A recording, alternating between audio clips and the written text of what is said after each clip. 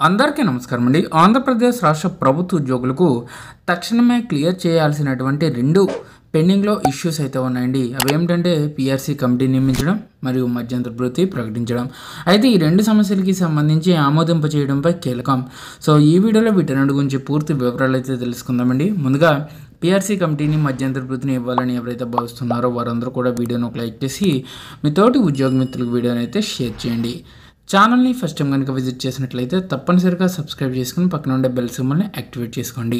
ఇప్పుడు డీటెయిల్స్లోకి అయితే వెళ్ళిపోదాం.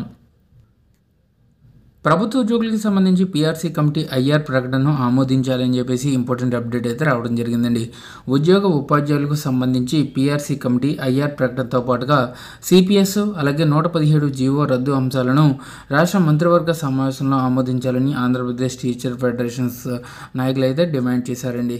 మంగళవారం స్థానిక ఉపాధ్యాయ భవన్లో ఆ శాఖ జిల్లా అధ్యక్షుడు అధ్యక్షతన జరిగిన సమావేశంలో ఈయన మాట్లాడారు. అయితే పదకొండో పీఆర్సీ ముగిసి పద్నాలుగు నెలలు అయితే అవుతుందని ఇప్పటివరకు ఐఆర్ని ప్రకటించకపోవడం బాధాకరమన్నారు. అలాగే ఓపీఎస్ అమలుపై కేబినెట్ నిర్ణయం కోసం సిపిఎస్ బాధ్యతలు ఎదురుచూస్తున్నారన్నారు. ప్రభుత్వ పాఠశాల రంగాన్ని అతలాకుతలం చేస్తున్నటువంటి జీవో నూట పదిహేడు రద్దుకు కేబినెట్ ఆమోదం తెలపాలన్నారు. తల్లికి వందనం పేరుతో ఇచ్చే ఆర్థిక లబ్ధిని ప్రభుత్వ పాఠశాలలో విద్యార్థులకు వర్తింపజేయాలన్నారు. అలాగే పన్నెండు నెలల సర్వీస్ పూర్తి చేసుకున్న ఎస్జీటీలను స్కూల్ అసిస్టెంట్లుగా ప్రకటించాలని డిమాండ్ చేశారు. ఇక విద్యా హక్కు చట్టం మేరకు ఉపాధ్యాయులు విద్యార్థుల నిష్పత్తి నిర్ణయించాలన్నారు.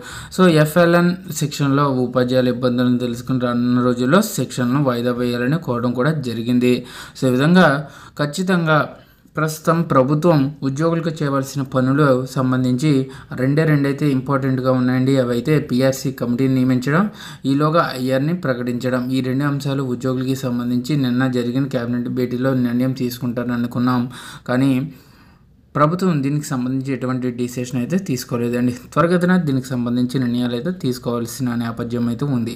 సో ఇదండి వాళ్ళ ఎంప్లాయ్ సంబంధించిన తాజా updates. For more updates subscribe our channel. Thank you